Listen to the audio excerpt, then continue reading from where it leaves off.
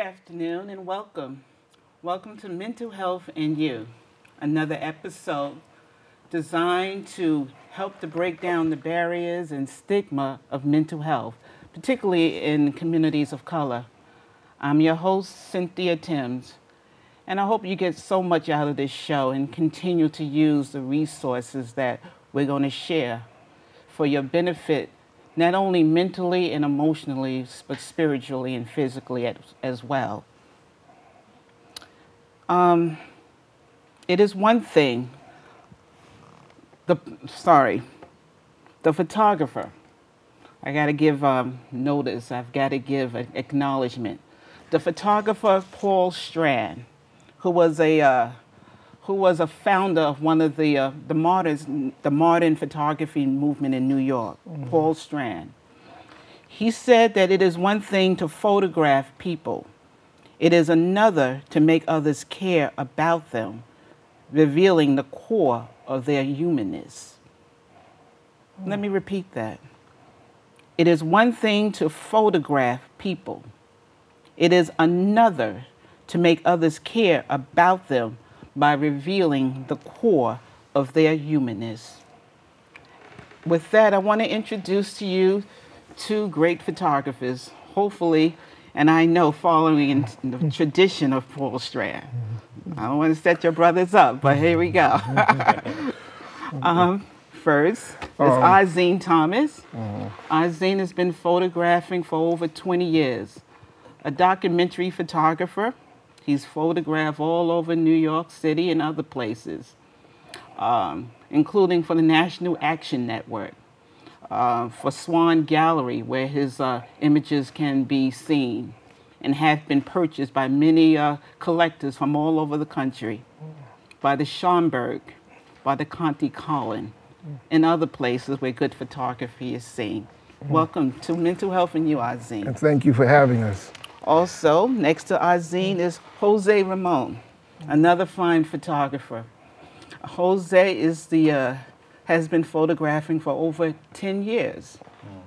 Uh, he is the uh, curator and the creator of the White Shirt Project, right? Right. The right. White Shirt Project. Uh, uh, project design, because we're going to talk a lot. I mean, that's, that's something. It's a project designed to bring awareness to mental illness, particularly in the um, gay and lesbian community, well, as people well of color. people of color, as well as their supporters. Mm-hmm. Wonderful images, and I, I, just got so much. When I looked at it, it's like the White Shirt Project. It's uh, it it reminded me so much. You know, it's like a canvas.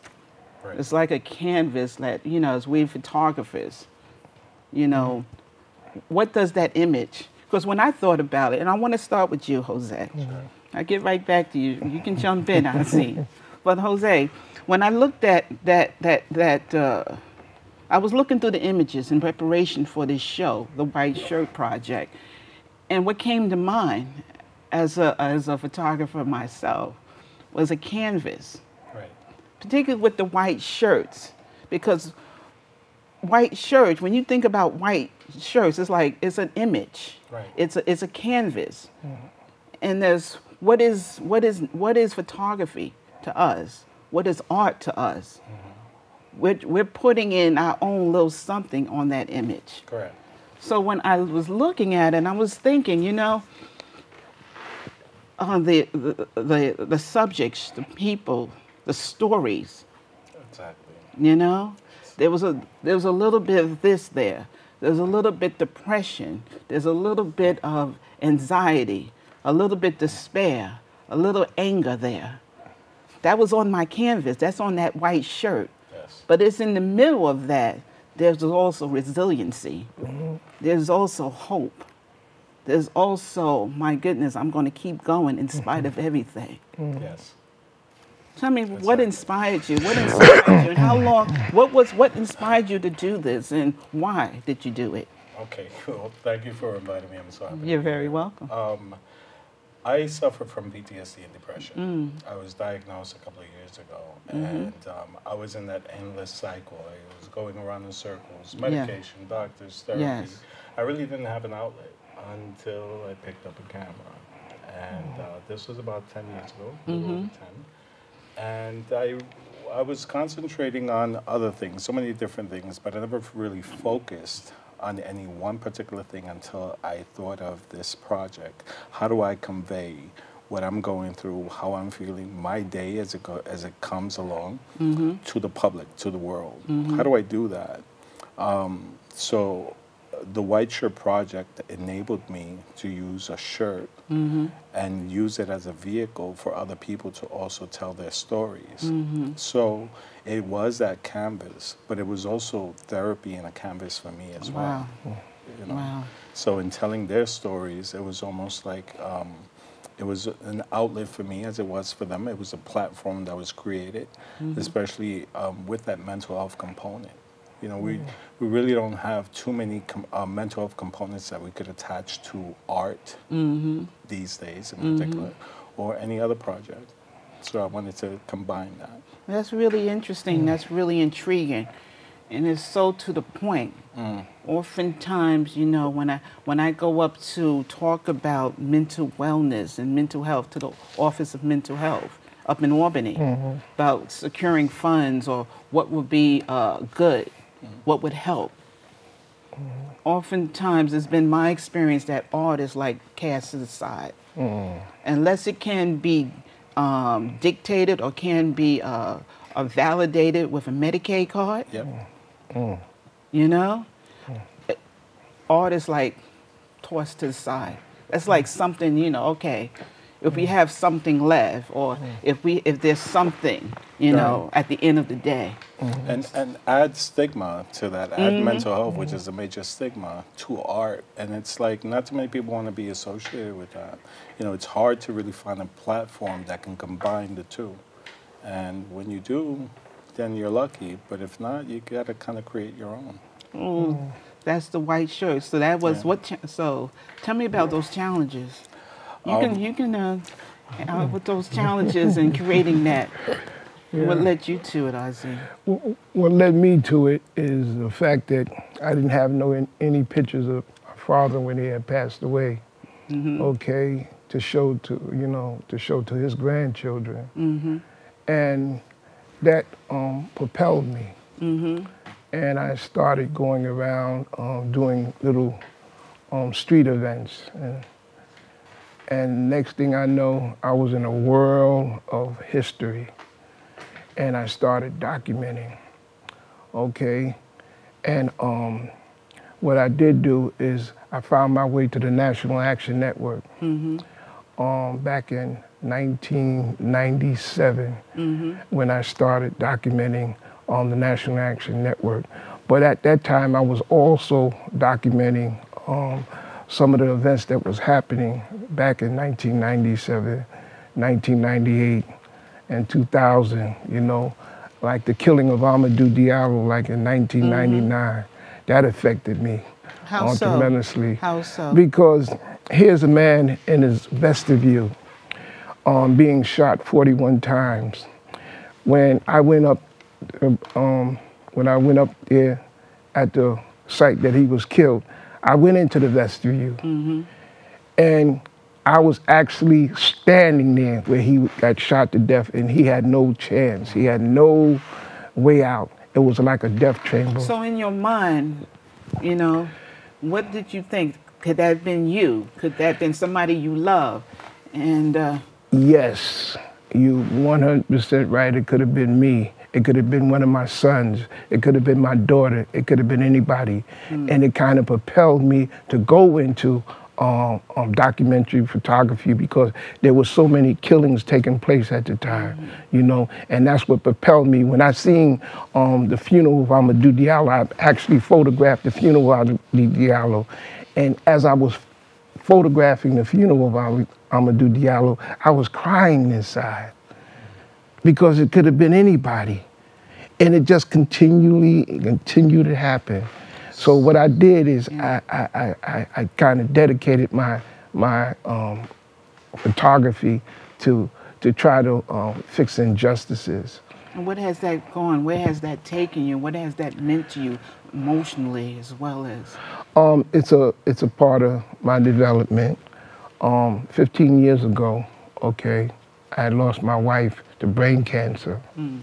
Okay, I didn't know that I was depressed and I was having a mental breakdown because I was trying to keep up this facade that everything is going to be all right, and eventually, you know, So you I had to go you into didn't know it. So No. I mean, did somebody tell you? Did somebody, or you just you just in, so into the habit, just going on, you know? Yeah, just- going on is is is is um what you call it like nothing was wrong. Were you into photography then, or? Yes, I was. Mm-hmm. You know, and photography helped me out of my you know my mental uh, instability. How so? Okay, because it it, it became a a healing. You know, a healing. Mm. And what part did it heal? Is it, still? Is it, my a work in- emotional, you know. Is it a work in progress for both of you? Yes, yes, it is work in progress for me. I'm still Mm-hmm. um, um, um, in therapy. Mm-hmm, Yes, Wow. yeah. You know, you said something there, both of you, about that that healing part of photography, Mm-hmm. that healing part of the image. You Mm-hmm. know, it's not just for me. It was not just a technical thing. You know, yes, you know, uh, I took classes and everything, but for me, what is it that I wanted to say and how I wanted to say Mm-hmm. it? You mm-hmm. know, to me, it was a friend when I didn't have a friend. Right. For me, it was, you know, a lover when I didn't have one. For me, it was, my goodness, my best friend. And sometimes, like a best friend, you know, as my, my experience, I didn't want to be bothered. Mm-hmm. I didn't want to be bothered because it was too painful. Mm-hmm. But the more I left it alone, it wouldn't leave me alone because it was just sitting there, dusty and worn, but it was just sitting there. So for me, I had to like pick it up because it was it was my too. Yeah. See, when when when I was going through some of the um, tragedies in my life at that time, and when I picked up that, it it helped me kind of um, um, kind of bring things together slowly but surely, because um, I had a big hole in me, um, because prior to me losing my life, my wife, I had lost a child and stillborn okay? And after I lost a child and stillborn, then my wife turned around and she died from brain cancer, you know. And these tragedies was like happening one at a time and one at a mm-hmm, time. Mm-hmm. I had to, you know, I had to bring myself up out of that. And I grabbed my camera and I started going out to events and gatherings and protests and demonstrations and things like that. And I, I was capturing these images that was kind of trying to express the, the hurt and emotions that I had inside because there was other people around me hurting because they were losing their loved ones. Wow, that hurt. So Jose, tell me about that hurt. That Oh. hurt in the images that you see. I mean, your, your images, I mean, the White Shirt Project, folks, you got to look it up. I mean, it says something, it tells a story. Right. So know. this is. And how did you find and how did they, your subjects, your, your, your you know, your models, how did That's they? that's what's interesting, right? So um, I we all know people all over the place, our Mm-hmm. neighbors, families, you know, friends, and so on. Um, so I have a, a lot of people that um, I'm in their lives, they're in mine, and then that extends outward. Um, I started with my close friends, that's- and I asked them if they would mind modeling for me. There was two people in particular, um, and uh, when they agreed, I saw what the magic was all about, how the magic could happen, because it, it didn't happen right away. Right. I create a space, a safe space for them. It takes about two to three hours Right. just to get them comfortable. I get people a shirt, they put it on, and then they get to tell me how they feel with And it. what? Why a white shirt? Why not an orange shirt or a blue Well, shirt? What was up with that? Because it's it's white symbolizes a lot of different things to different people. Uh-huh. You know, to some people it could be purity, it could Mm-hmm. be could be death also, uh, rebirth, Mm-hmm. um, could be a sign of status, right? White collar, blue collar, Mm-hmm. um, sanctity. So it's it represents different things to different people. Also, um, interestingly enough, I had a few people that work in the corporate world, Mm-hmm. and when they put on white, it's like they, they got their head game on. They're they're a different person. As soon as they take off that white shirt, they they're just like regular people like us. But you know, it changes your mood. It changes your attitude, your whole, you know, personality. Yeah. Um, but I create a safe space for these people, for all my models to come in and just vomit if they want to. My goodness, and did know, they? And and All over the place. incredible I first, yeah. So I have to share. I share what happens to me, Uh-huh. all my tragedies, all of this. I mean, I cover everything from A to Z. Indeed. There's nothing that I leave out. So uh, in creating that safe space, what can you tell me that I haven't already told you? Mm-hmm. You know, so it opens them up. It, it gives them a, a space where they could say, okay, well, let me just share this. And they use the shirt as a vehicle to do that. So this goes across the 40, 40 plus models that I've photographed. Yeah, because getting back, because when, when I was looking at your, uh, your images, Uh-huh. going through the images, I was getting like images, and as they was talking about Yeah. In their narratives, they were talking about the sadness they felt. Mm-hmm. They were talking about the post-traumatic stress they were going through, mm-hmm. the depression, The the, depression. anxiety, mm-hmm. the anger, Yep. the feeling like they were invisible. Exactly. And that's just the first project. The second project involves couples, so it's oh, a Oh, yes. support network. So in the second series, instead of shooting single models, what I did was I shot couples, sisters, uh, husband, wife. Um, we have all demographics. We have two trans sisters, biological trans sisters. We have um, a homeless man and a homeless woman that stuck together all through. They're now living happily in an ocean front in Brooklyn.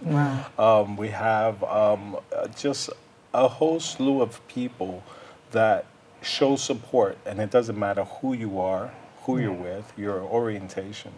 You know, support is support, especially Indeed. when you're going through something. And what I wanted to highlight was that other person that people don't see. You see, because people see me here now, but they don't know who's supporting me when I get off the show. Wow. So it's that person I wanted to highlight. Well, tell me about the camera and that support. What did that support mean to you? and why the camera? I'm going to get back. Um, the why camera? why not the why not riding or jogging or you know what I'm saying? Well, let me tell you, um, I didn't want to deal with anybody.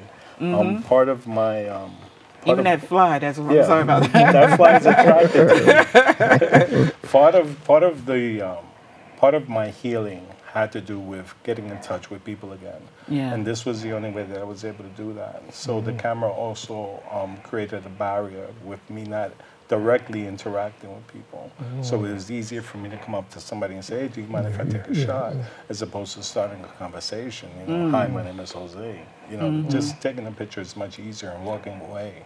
So that camera was like you're having a conversation. Right. You're not verbally, uh, hello, I'm Right. Jose, but still, It was a tool between me Right. interacting with another human.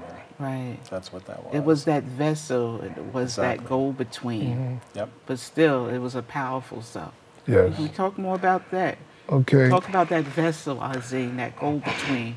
Um, The go between is me being able to have people feel the things that are going on in their community, mm -hmm. the things that are happening, getting them um, sensitized once again.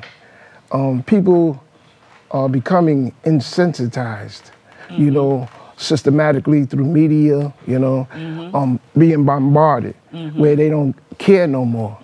And what we have to do is we have to start sensitizing them, and I'm able to do it um, with the images that I have.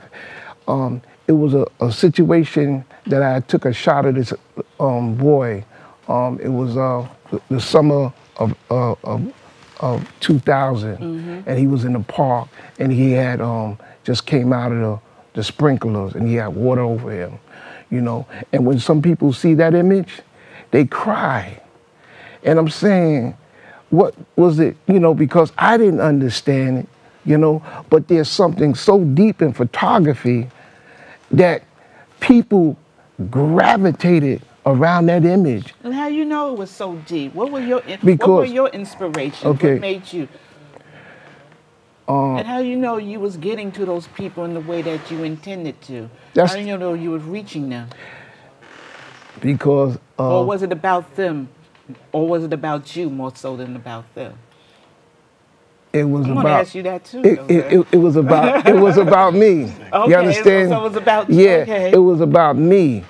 But what the cameras allowed me to do, it allowed me to take the emotions that I had in myself or Mm-hmm. what I was feeling at that time and to be able to project it onto someone else though, so they can feel what I was actually going through. So you're seeing, you're, we're going through that viewfinder, but it's not just with our eyes. As a photographer, as uh, Gordon Park says, we're feeling also with our hearts. Yes. You know? Yes. Yes. yes. So it's not just about what we see through that viewfinder, yeah. but what are we seeing with our hearts? Mm-hmm. What are we seeing? What are we feeling? Yes. Tell me about that feeling that through your heart, through your.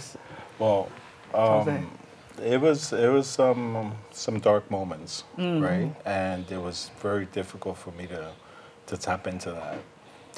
When when I started shooting and I started hearing the stories, um, I was able to really relate on a totally different level, unbeknownst to them. They didn't mm-hmm. even know how I was relating to it. Mm-hmm.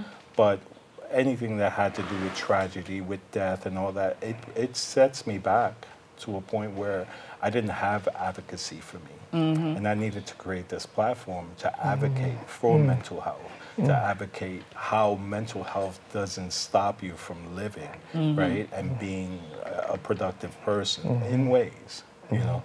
So if I was able to create this platform for me, I thought about how it could possibly work for somebody else that didn't mm. have it. Mm-hmm. So I created that for them. They, these, a lot of the people that I have shot have never told their story, have never had that opportunity, and especially to disclose about their mental health status. Right, right. You That know, so- stigma. the stigma. Yeah, so this yeah. was a great opportunity for them to come out. This was their coming out story, Mm-hmm. and I was honored enough to, to capture it. You know, it was an honor for me to do that. Mm. People got emotional. People cried. Mm-hmm. You know, it was it was really something that um, I had to hold back. What from has been the reception outside of the? Oh, it's been. Um, I've had one reception so far um, for the White Shirt Project. I've been featured in a few different things at the Schomburg, um, a few mental health conferences. Um, you know, Anything coming up? yeah. So because I was talking about there not being platforms where mental health and events combine, um, I was forced after knocking on a few doors in the Bronx to create my own platform. Wow. So we created the Bronx LGBT Expo, which is going to go on on June 22nd of this year. Where at? The, um, this is going to be at el- 111 Bruckner Boulevard. Um, our host is Bronx Spark, but the expo is part mental health. It's a mental health conference, and then a reception after that. So I wanted to create an, an exposition that highlighted mental health. June twenty second. June 22nd. Folks, go on uh, this man's website, go on this man's site, check out these wonderful images and learn more about this much needed and uh, Thank you. festival. What about yourself, Yeah. Azim? Talk about. Um, I want to talk and, and um, piggyback on what he said about uh, the stigma that's attached to mental health, just like the stigma is attached to the LGBT community, you know, and the mental health community has to come out to, to kind of break that stigma, you know, and they have to uh, um, help other people, you know, break that stigma. So we have to like we have to come out of these uh, uh, um, um, cages, for the lack of a better word, you know, to be able to uh, um, express that we, we we have situations, but I'm not the only one, and we're able to um, come together to help each other heal.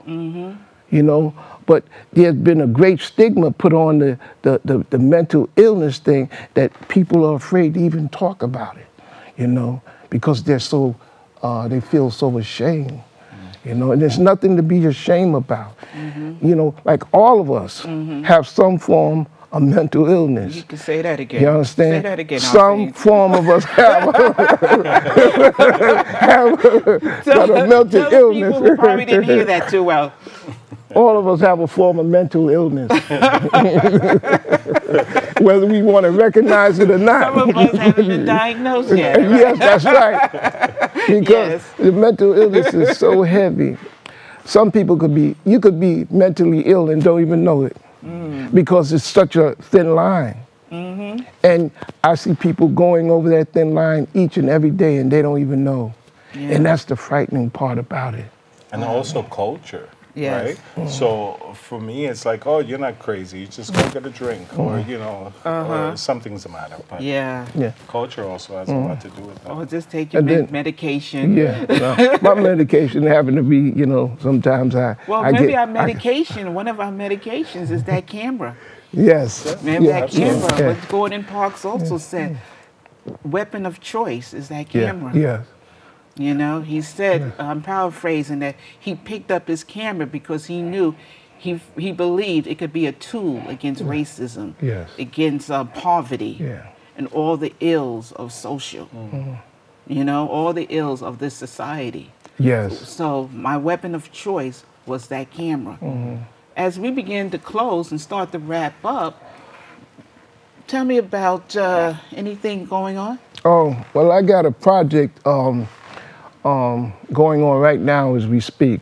I have it um, Okay. wall um, walls um, wall art, and it's on um, exhibition at um, at Food Court at 66 West 116th Street. Okay. Okay. Okay. And um, this um, We're person. have to start yeah, to wrap it- up, but okay, they, they, they allowed me to, to hang my work, and you can come in and see the work. guys, look up Azim Thomas.